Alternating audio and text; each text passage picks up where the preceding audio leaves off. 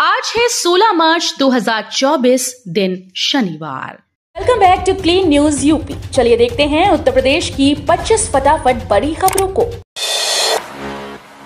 IIT से central तक चालीस रुपए में पहुंचाएगी मेट्रो बार बार सवारी बदलने से मिलेगी निजार कानपुर आईआईटी से मोती झील के बीच दौड़ रही मेट्रो का जुलाई तक सेंट्रल स्टेशन और नवंबर से नौबस्ता तक संचालन करने की तैयारी है। इस बीच रूट का किराया भी तय हो गया है। आईआईटी से कानपुर सेंट्रल तक सफ़र करने में चालीस रुपए लगेंगे। वहीं आईआईटी से नौबस्ता तक जाने में साठ रुपए लगेंगी। सीएम योगी बोले, मोदी के तीसरे कार्यकाल में भारत बनेगा तीसरी बड़ी अर्थव्यवस्था। मुख्यमंत्री योगी आदित्यनाथ ने कहा कि बीते दस सालों में प्रधानमंत्री नरेंद्र मोदी के नेतृत्व में भारत बदल चुका है।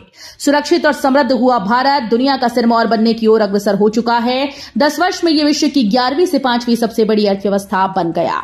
अब मोदी सरकार के तीसरे कार्यकाल में भारत दुनिया की तीसरी सबसे बड़ी अर्थव्यवस्था वाला देश बन जाएगा।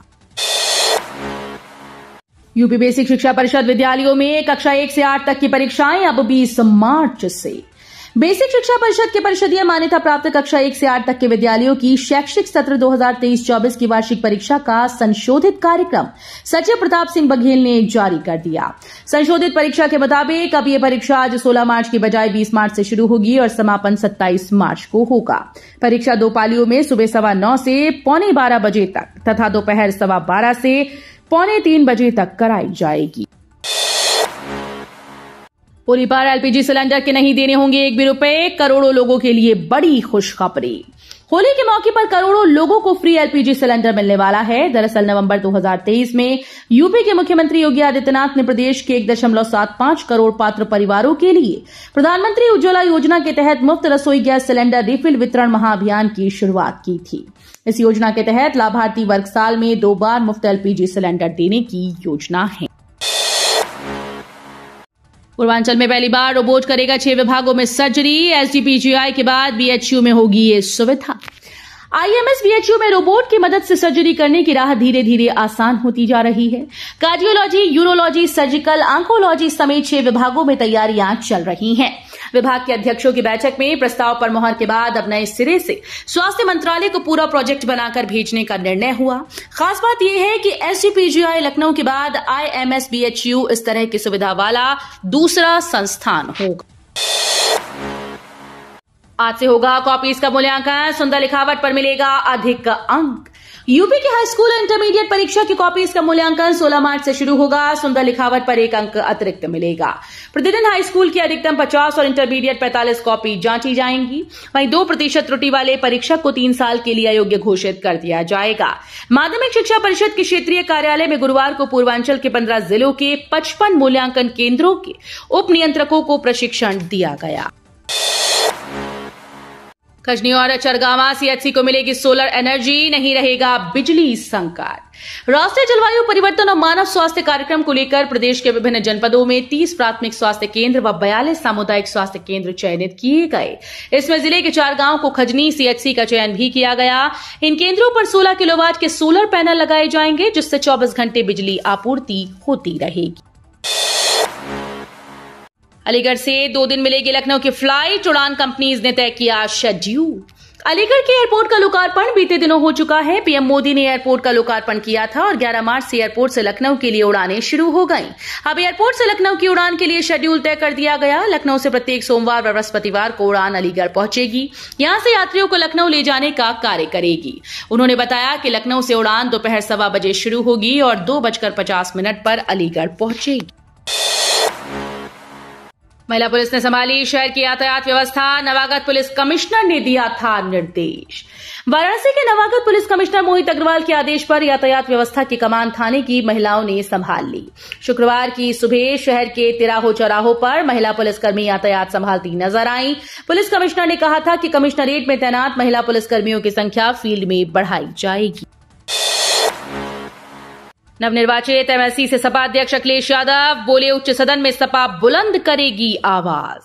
समाजवादी पार्टी के अध्यक्ष अखिलेश यादव ने विधान परिषद के नवनिर्वाचित सदस्यों से मुलाकात के बाद कहा कि उच्च सदन में उनकी पार्टी लोकतंत्र की रक्षा के लिए किसानों, नौजवानों के मुद्दों और सामाजिक न्याय की आवाज़ बुलंद करेगी। प्रदेश में कानून व्यवस्था की स्थिति गंभीर है। महिलाओं की सुरक्षा और सभी का सम्मान आदि मुद्दों को प्राथमिकता से उठाया जाएगा।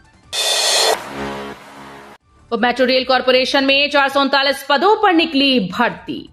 भारत सरकार और उत्तर प्रदेश राज्य सरकार के संयुक्त उपक्रम Uttar Pradesh metro rail corporation limited ने कानपुर मेट्रो और आगरा मेट्रो के लिए टेक्निकल और नॉन टेक्निकल एग्जीक्यूटिव कैडर में विभिन्न पदों पर भर्ती का नोटिफिकेशन जारी कर दिया है। आवेदन शुरू होने के बाद उम्मीदवार ऑफिशियल वेबसाइट पर जाकर अप्लाई कर सकते हैं। एमएमएमयूटी में सीएम योगी ने बांटे टैबलेट और स्मार्टफ़ोन। मुख्यमंत्री योगी आदित्यनाथ ने शुक्रवार को कहा कि फार्मा सेक्टर में उत्तर प्रदेश का पहला कंज्यूमर स्टेट था। दवाएँ व अन्य ज़रूरी मेडिकल उत्पाद बाहर से आते थे। अब यूपी फार्मा सेक्टर का उत्पादक और निर्यातक बन जाएगा। इसके लिए सरकार ललितपुर में 2000 एकड़ में फार्मा पार्क बना रही है। यूपी में मेडिकल डिवाइस पार्क भी बन रहा है। इससे फार्मेसी के क्षेत्र में युवाओं को भी व्यापक अवसर उपलब्ध होंगे। अखिलेश यादव बोले, महँगाई से जनता की जेब ढीली हो रही। भाजपा के खजाने भर रहे। सपा अध्यक्ष अखिलेश यादव ने इलेक्शन बॉन्ड को लेकर चुनाव आयोग द्वारा दी गई जानकारी पर कहा कि जनता की महँगाई और भ्रष्टाचार से जेब ढीली हो रही है और इलेक्शन बॉन्ड से भाजपा के खजाने भर रहे हैं। उन्होंने तंज कसते हुए कहा कि भाजपा ने बोला था कि न खाऊँगा, न खाने दूँगा, लेकिन ये नहीं कहा था कि डकारूँगा नहीं।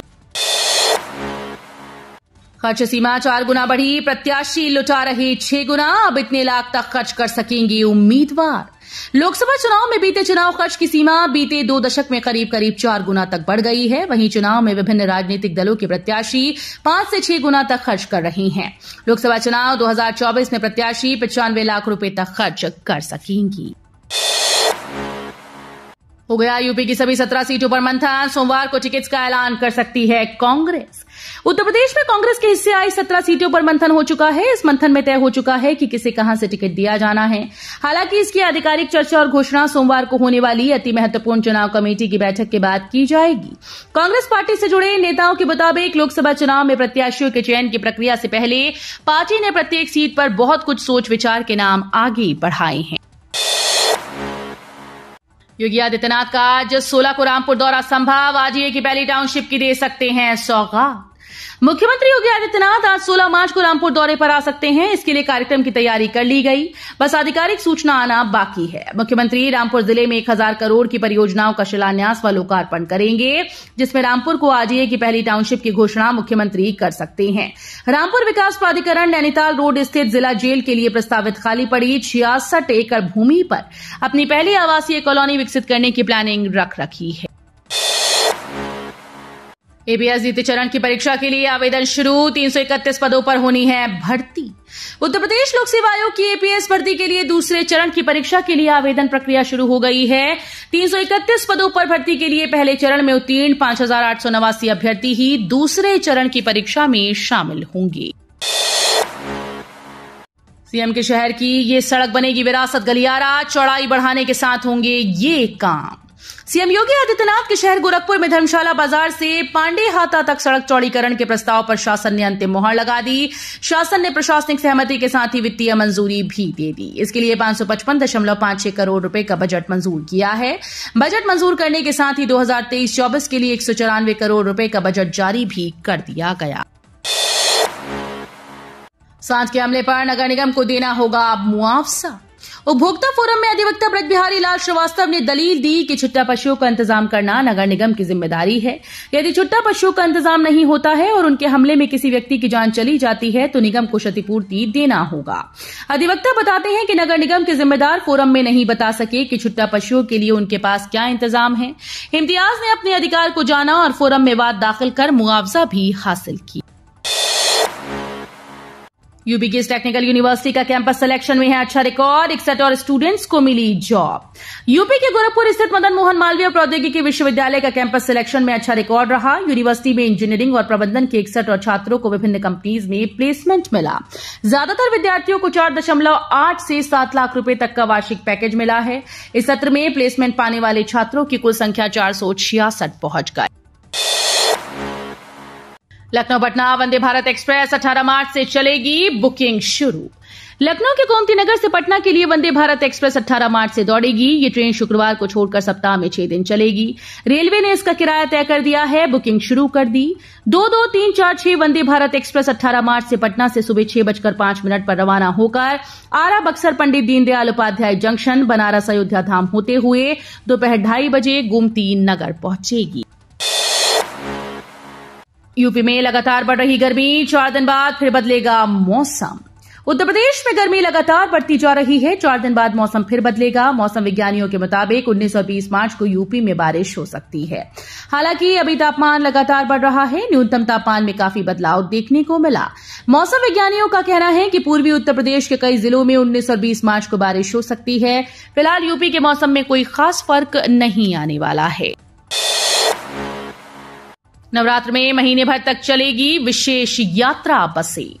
परिवहन निगम चैत्र नवरात्र के मौके पर 9 अप्रैल से अगले एक महीने के लिए विशेष यात्री बस सेवाएँ चलाएगा। आदि शक्ति माँ पाटेश्वरी शक्तिपीठ मंदिर के महंत पृथलेश नाथ ने परिवहन निगम से स्पेशल बसेस को चलाने के लिए आग्रह किया था। निगम के प्रधान प्रबंधक संचालन मनोज कुमार ने बताया कि नवरात्र में प्रांत के विभिन्न स्थानों पर स्थित देवी मंदिरों में श्रद्धालुओं का आवागमन होगा। ट्रांसपोर्ट एजेंसी के पूर्व कर्मियों ने लीक किया था। सिपाही भर्ती का पेपर, अब तक तीन सौ छियानवे आरोपी गिरफ़्तार। सिपाही भर्ती परीक्षा का पेपर लीक कराने वाले गैंग के तीन लोगों को एसटीएफ ने गाजियाबाद से बृहस्पतिवार को गिरफ़्तार कर लिया। तीनों पेपर लाने वाली ट्रांसपोर्ट कंपनी के पूर्व कर्मचारी हैं, जिन्होंने मास्टरमाइंड राजीव नयन मिश्रा के साथ मिलकर वेयर हाउस से पेपर की फ़ोटो खींची थी और इसे लाखों रुपए लेकर बेचा था। आईसीसी का बड़ा फैसला, अनिवार्य हो जाएगा स्टॉप क्लॉक रूल आईसीसी ने अपनी सालाना बोर्ड मीटिंग में स्टॉप क्लॉक रूल को विश्व कप से लागू करने का ऐलान कर दिया है। आईसीसी का ये नया नियम वनडे और टी क्रिकेट में जून 2024 से लागू हो जाएगा।